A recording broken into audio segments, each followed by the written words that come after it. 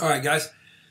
The uh, relaunch after our winter storms uh, of our lectures is uh, is upon us. My hope is over the weekend to be able to uh, update some of the things we're doing. Um, one of the things that I wanted to come back to, in a very brief lecture, is in those introductory notes on worldview. Every class that we cover has to cover the worldview of not only the author, i.e., in this case, Paul, uh, but also the worldview that we deal with. Because again, if Scripture is bi-level, meaning it applies uh, to the period of time it was written and to our period of time, then um, the Apostle Paul had to deal with not only the Gospel's antagonists, but also counterfeit Gospels. Uh, people that were coming up alongside of the preaching of the Gospel um, and pretending, purporting to um, to be speaking for Christ. And so, in your notes at the bottom of the page, where uh, we deal with the conspiracy theories and the people who um, preach counterfeit gospels, there is a, a little brief section called Mathematics of the Cults. It's not original with me in any way. It actually goes back to the days of Ravi Zacharias, Josh McDowell. Back when um, many of our parents were studying usually on a Sunday night in a discipleship training seminar, they would learn something about the cults. And back then, cults were basically divided into um, science, Scientology, atheism, agnosticism, uh, etc. So, how do you know if a particular group is preaching the gospel or not? How, how do you know whether it's legit as far as doctrine is concerned, or if it's in fact a counterfeit and a cult. A real simple, quick way that you can teach this to anyone is what we call the mathematics of the cults. I would encourage you to do this in your pulpit and to do it to your youth group and to do it consistently and constantly in front of your people. Because it, it puts their radar up, it shows discernment. Uh, and it's very simple. It's four steps. The mathematics of the cults is add, subtract, multiply, and divide. When they add to the books of the Bible, subtract to Christ's full divinity or full humanity, multiply steps to salvation, or divide the body of Christ, that's how you answer the question if something is a cult. It's the fastest way to do it. Number one, um, add to the books of the Bible. One of the ways to know, beyond the shadow of a doubt, that something is cultic is do they have other books that they put on the same level as uh, the 66 books of the canon, the Old Testament and the New Testament? Sometimes it's their interpretation. For instance, um, Mary Baker Eddy, you can't read the Bible in Christian science unless you're reading alongside of it her interpretation. Um, sometimes it's adding a book entirely, like the Book of Mormon, Pearl of a Great Price, Doctrines and the Covenants uh, for the Mormons. Sometimes it's adding their translation, where, like with the Jehovah's Witnesses and what we call the Green Phantom, their own translation, supposedly, of the Bible.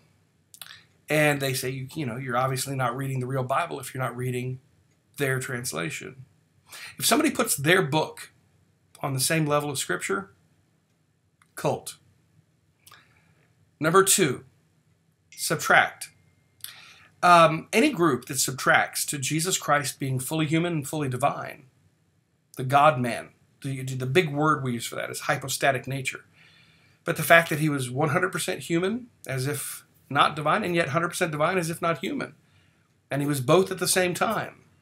He was both the bread of life and he hungered any group that says that he cannot be both or is not both, that he, uh, even in some places where they say he becomes God, say at baptism, and then stops being God at, um, say, at the crucifixion when he cries out, My God, my God, why have you forsaken me? That's a cult. See, if he wasn't God, he couldn't offer the perfect sacrifice. If he wasn't man, he didn't dwell among us. John 1 1 through 14. Now let's look, add, subtract, multiply. means to salvation. Anybody that says anything more than grace by faith, that it's unearned, given to you without merit, you got to earn your way in, well, that's a religion. That's not Christianity. Every group says you got to earn your way in. Only in Christianity do we say that you can't, that you in fact have to admit you can't, which is repentance. Finally, any group that divides the body of Christ. Now, this is a hard one to hear, but let's see if we can unpack this. There are certain groups that become a cult because they believe that unless you are their denomination or their church or their movement, that you're not going to heaven, then they're dividing the body of Christ. Um, the classic Church of Christ Churches of Christ, like Max Lucado was back in the day, they believe one, you have to be baptized to be saved, and number two, that you have to be baptized in their church or you're not saved. Catholic Church. The Catholic Church says, and has said since the days of the Cyprian, the Bishop of Carthage, you cannot have God as Father and not have the Holy Roman Catholic Church as your mother. If somebody asks me, do you believe that the Greek Orthodox are saved? Um, another group that believes that. Well, they don't believe I'm saved. So we have a problem, don't we? If I can look you in the eye and say, I will never, I will never uh, go to confession, I will never be baptized in the Catholic Church, am I going to heaven? Yes or no? I'm, not, I'm never going to be baptized in a uh, Catholic Church or I'll be buried in a Catholic Church cemetery. Will, will I go to heaven? That's a quick definition, isn't it? If you're born again, you're a brother in Christ and a sister in Christ. You may not be my denomination, but you are in my family. It's pretty simple.